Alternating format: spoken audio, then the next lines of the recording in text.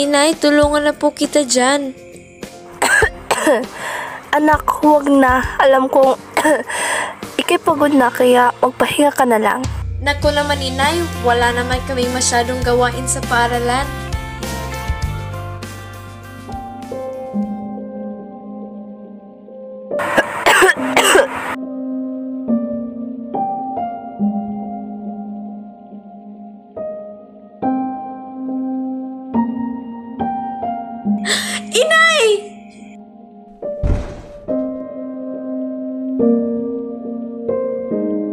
Inay! Inay! Gising! Tulong! Tulong! Tulong?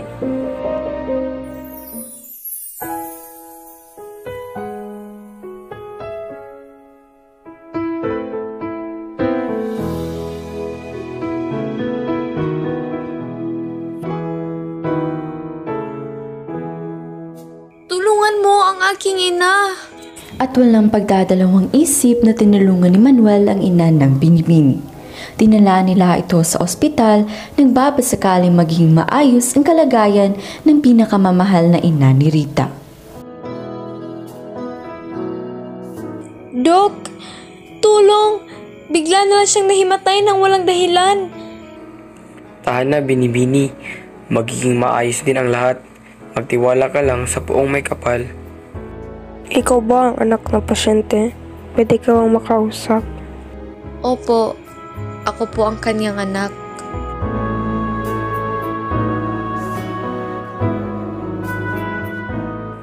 Manang, maayos na ba iyong pakiramdam?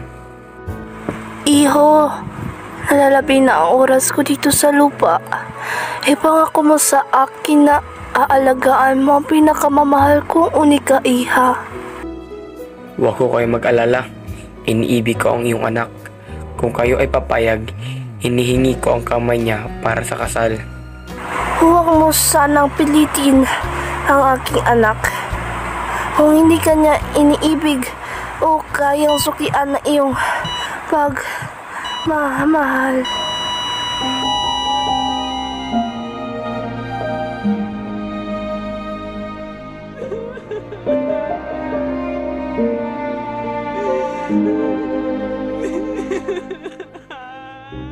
Oras ng kamatayan, 4.23 p.m.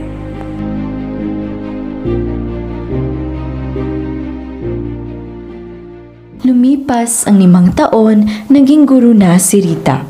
Pumunta siya ulit sa ilalim ng punong kahoy kung saan nangyari ang hindi niya makalimutang araw. Sa hindi inaakala, babalik na ang taong kanyang hinihintay. And look how far we've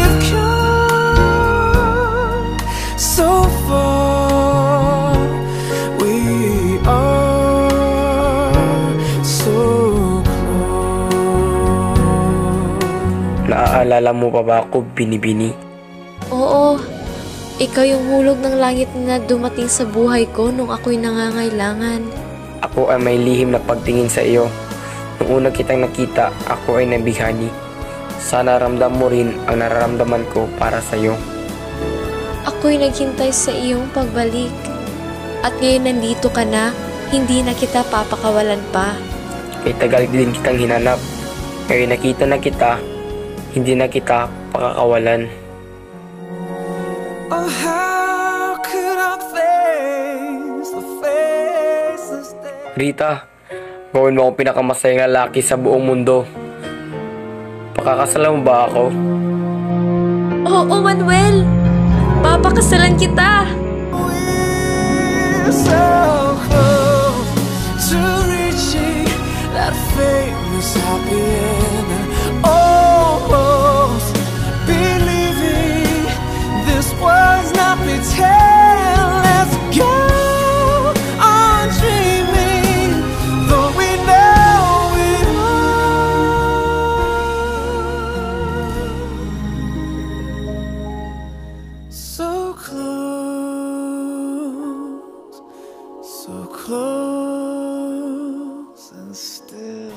Nasasapik na ipikilala ni Manuel ang babaeng kanyang piniling makasama habang buhay.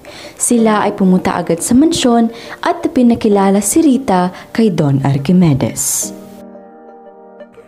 Ama, siya si Rita, ang gusto kong mapapangasawa. Ano kagagawa nito Manuling? Siya isang hamak na anak lamang ng labandera. Oo, labandera lamang ang aking ina. Ngunit wala kang karapatan bastusin siya. Ang aking ina ay may gininto ang puso at ipagmamalaki ko yan. Abay bastos kang bata ka! Ama, wag! Ayaw ni Don Archimedes sa babaeng napili ng kanyang anak. Ngunit, hindi iyon naging balakid sa kanilang pagmamahalan. Lumipas ang isang taon, si Manuel at Rita ay nagkaroon ng anak na lalaki. Alam ito lahat ng tiyo niya na si Don Cristobal at napagpasyahan niyang kausapin si Don Archimedes. Liwanagin mo ang ating pinag-uusapan, primo. At kung makukuro mo ang magiging hanggay, maaari magbago ka ng isipan at palagay. Ang lagay ba na parito ka pag magtanggol ang walang hiyang yan? Isipin mo, primo, na ang tinatawag mong walang hiya ay tunay mong anak. Ang bugto mong anak na iniwan sa iyo ng nasira. Eh hindi ko na anak. Mula sa mga sandaling iya ay makaisip na gawa ng napakalaking kasalanan gaya ng kanyang ginawa, hindi ko na siya anak. Siya hindi karapat dapat na magtaglay ng aking apelyido. Si Manuling ay kahiyahiya, karimari-marim, isang malaking batik sa lahi ng mga lakambayan. Oo, walang patawan ng kanyang ginawa. Huwag mong ipasupil sa iyong puso ang iyong isip. Ang nangyari sa inyong mag-amay nangyari sa lahat. Nagkakamali ka, primo. Hindi nangyari kailanman sa aming lahi ang mga bagay na iyan. Oo, talagang walang hiya, walang turing, walang... Dahan-dahan. Hindi. Hindi ako makapagdahan-dahan kapag naglalagablab ang aking isip sa galit. Oo, walang pinag-aralan. Bastos! Baka ipalagay tuloy ng mga kapitbahay na ako siya may minumura at tinutungayaw. Ano mawawala sa akin? Pintasan man nila ako, pulaan man ako ng mga tao, pagtawanan ako ng kahit sino. Walang kailangan. Hindi ba't ngayon pinagtatawanan ako? Pinupulaan at pinipintasan ng bala ng nakakikilala sa akin? Natatalastas ko ang iyong ikinagagalit. Oo, hindi kita sinisisi. Sa palagi ko'y matuwid ka. Dapat lahat ay may kanya-kanyang hangganan. Ang ginawa ng iyong anak ay isang bagay na di katakatang gawin ng kabataan ngayon. Dahil sa kakapusan ng pagkukuro sa mararating. Primo, alam mo na kung gaano ang pagtatanggi ko sa iyo. Kaya kung pinahahalagan mo ang ating para magkapatid na pagsasama, ay hinihiling kong wag na nating pag-usapan ang bagay na iyan. Sapagkat makakain mo bang gawin sa iyo ng tinuturing mong bugtong na anak pa naman na ikaw ay dalhan ng isang apong di man lamang nagdaan sa simbahan? Kung sa bagay, tayong lahat ay naging ama rin. Ang aking ama ay naging ama rin. Ang ama ng aking ninuno ay naging ama rin. Ang ama ng...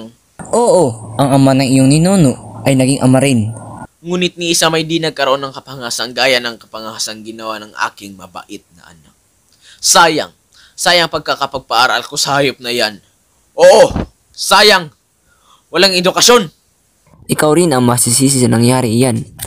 At hindi ang anak mo lamang. Pinaraki mo sa malabis na layaw ang iyong anak. Nalimutan mong sabi ni Florentina, ang laki sa layaw karaniway hubad sa hatol, at ngunit sa aral ay salat. Nakita mo na? Sa bibig mo na rin nagmumula ang pagbibigay sisi sa magulang. Dahil sa kagagawan ng anak. Saka ngayon na ikaw mamamagitan ng pangwag kong pansinin na talentanan ng kanyang kaalibuhaan. Dapat mong malaman, primo, na ako man ay nagdaramdam din sa nangyari. Kaya't kinausap ko si Manuling at sinabi ko sa kanya na ang kanyang ginawa ay pangit. Napakapangit. Kapangit-pangitan. Ang sabihin mo, Oo, pangit pa sa dilang pangit. Ngunit ano ang sinabi niya sa akin? Tito Cristobal, ang sabi niya, ang nangyari ay nangyari na at hindi na natin maiulit pa sa arati. Hindi ko maaari itapon sa lansangan ng aking anak. At kung ang ginawa ng iyong anak ay gaya ng ginawa ng iba na ayaw kumilala sa laman ng kanyang laman at sa dugo ng kanyang dugo, anong sasabihin mo? lalo ko siyang mapapatay. Kung may pitong buhay man siya, iuutasin kong lahat. Mangyari pa? Kaya ngayon, si Manuling ay wala ng paraan at magagawa kundi ang magpasaan ng tungkulin ng isang ama. Ang sabi nga niya, ang nangyari, nangyari na. At saka sa ibig mo, primo, agwilo ka na. Isang bagong Archimedes ang sumilang sa iyong angkan na siyang magpapakilos ng daigdig. Aguelo? Mangyari, may apo ka na. At di apo sa paginabang kundi apong tunay. Isang apo magdadala ng iyong pangalan, Archimedes Lacambayan Jr. Iyan ang hindi maaari. Kung ayaw ka ng junior ay tatawagin nating Archimedes Lacambayan II. Nalalaman mo bang ipinanganak ang iyong apo ng mismong araw ng iyong ikalimampung kumpianyos? Basta, kung ayaw ko ipamana sa kanya ang aking ngalan at apelyido, ay ano ang kanyang magagawa? May alis baga sa aking pagkait ko ang aking pangalan sa iba? Diyan ka nagkakamali. Isang katutubong karapatan ng iyong apo na gamitin na pangalan sa kanyang ukol. Yan ang kayamanan mong maaaring kunin sa iyo ng iba sa harapan. At ikaw ay di makakakibo. At saka isa pa, kasalanan ba ng iyong apo na ang maging ama niya ay si Manuel? At ikaw ang maging nuno? Matanong kita. Sino ang kamukha ng bata? Ikaw sa isang dako. Ano ang ibig mong sabihin? Kamukha mo sapagkat kung makasigaw ay abot sa kapitbahay. Demonyo! At kung tumawa, walang iniwan sa kanyang agwela sa ina. Sa ina? Sa ina ni Rita? Ang labandera? Isang butil na lamang pangkalusin ng salop. Oo, yan pa ang hindi ko malunok-lunok. Papasok sa silong ng bubong ng aking tahanan ng isang anak lamang ng labandera? Pasasaan ka? Oo, pasasaan ka? Diyan ka nagkakamali ng panukat, primo. Kilala ko ang ina ni Rita. Oo, labandera nga. Ngunit ikaw may hanga sa babaeng yung nabubuhay. Sa kanyang sarili pagsisikap at sa likod ng di kakaunting pagtitiis. Kahit gapang, iginapang ang pag-aaral sa kanyang bugtong na anak. Si Rita nga, at ang una ang Diyos. Si Rita ay nakatapos sa normal school at nakapagturo sa paaralang bayan. Datapwat diyan siya nakilala ng iyong anak. Namatay ang kanyang ina at si Rita ay naiwan sa piling ng kanyang tiya na halos sunod-sunod na parang organo ang mga anak. Si Rita ay naalis sa pagtuturo mula sandaling makilala ng mga pinuno ng paralang bayan ang kanyang kalagayan. At ngayon na mag-ina silang sasagutin ng iyong anak. Sa makatuwid, ang ritang iyang anak ng labandera ay Isang babaeng malinis, may puri, may dangal. At maliban sa munting batik na nilikha ng kalikutan at kagandahang lalaki ng iyong anak, e walang maisusurot sa kanya ang makasalanang lipunan ng mga tao. Di kung gayon ay mag-iisang buwan na ang anak Oo, isang buwan at labintatlong araw. at hindi pa nabibinyagan? Hindi pa, sapagkat ang ibig nila ay magpakasal muna bago pa binyagan ang iyong apo. O ay anong kanilang ginagawa? Bakit di pa kasal kung pakakasal at pabinyagan ng bata upang di lumaking muro at si Maron? Kung sa bagay, kapwa na sa gulang maging si Manuel, maging si Rita. Ngunit palibhasa ang ibig ni Manuel na mahusgahan ang kanyang pagkakasala. Kaya ang hinintay ay ang iyong pahintulot. Pahintulot? Aanhin pa ang pahintulot? Nang siya ba'y magtayo ng templo ay nangailan ng ring pahintulot? Conforme na kung siya mag-asawa. Kung ibig niya upang mailigtas sa kasalanan ng kanyang walang malay na anak. Ngunit kung upang magiging alkagwete at magbibigay ng pahintulot, ay iyan ang hindi maari. Sinabing mong sila'y may layang pakasal. Aber, pakasal sila at tapos ang kwento. Hindi ko sinisisi ang bata. Ang sinisisi ko yung ama't ina. Kaya kung ibig nila pakasal sila, kahit makasanlibo at ako'y di kikibo. Sapagkat sinabi ko na sa iyo na malaon nang magyari ang aking pasya. Ako'y walang anak. Ako'y nagkaroon ng isang anak na suwail. At ang suwail na yun, malaon ko ng pinagtulos ng kandila. Bueno, kung mag-uulit tayo ng salitaan na hindi na kita sasagutin. Naganap po na ang aking tungkulin, ang palalay gamot sa taong nakakalimot. Anang kasabihan, napaalalahanan na kita. Ngunit kung ikaw ang nagkukusang lumimot sa iyong tungkulin ay wala akong magagawa. Pinasasalamatan kita, pinsan. Ngunit bago ka umalis, iutang lolob sa iyo. Kung makikita mo si Manuling, sabihin mo lamang na ibig ko siyang makausap. Kapag sa unang tanungan namin ay di sumagot sa akin ng tama. Una siya Manuling, siya o ako'y hindi na si Archimedes. Oo, na rin lamang si Manolo. Tatawagin ko. Ngunit ang palala ko lamang sa iyo, huwag mong kalilimutan si Manuling ang iyong anak. Nalalaman ko, oo, hindi ko kalilimutan na siya aking anak. At hindi mo dapat pagbuhatan ng kamay. Bakit ko pagbubuhatan ng kamay? Nakikilala kita. Kapag nagdidilim ang iyong isip ay gumagawa ka ng di mo nalalaman. Oo, nalalaman ko. At isa-isip mo na ikaw man at ako man ay nagdaan din tayo sa kabataan. Pero, tatawagin mo ba o ako ang tatawag? Oo, ako ang tatawag. Ay, Archimedes. Archimedes! Natapos ang kanilang pag-uusap at nagbago na ang pananaw ni Don Archimedes kay Rita. At sa wakas, nakamit na ni Manuel at Rita ang walang hanggan, ang kasal. Sir, I'm a bit nervous about being here today. Still not real sure of what I'm going to say. So bear with me, please, if I take up too much of your time. But you see, in this box is a ring for your oldest. She's my everything, and all that I know is it would be such a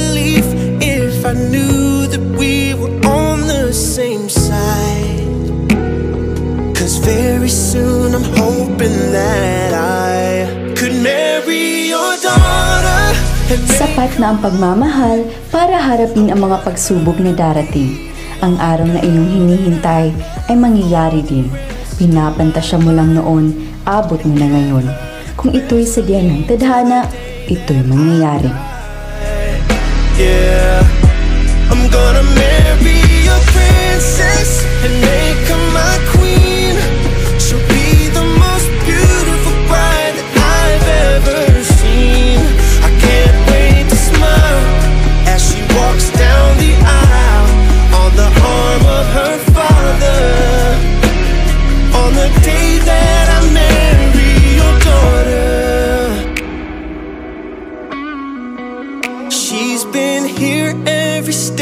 since the day that we met. I'm scared to death to think of what would happen if she ever left. So don't you ever worry about me ever treating her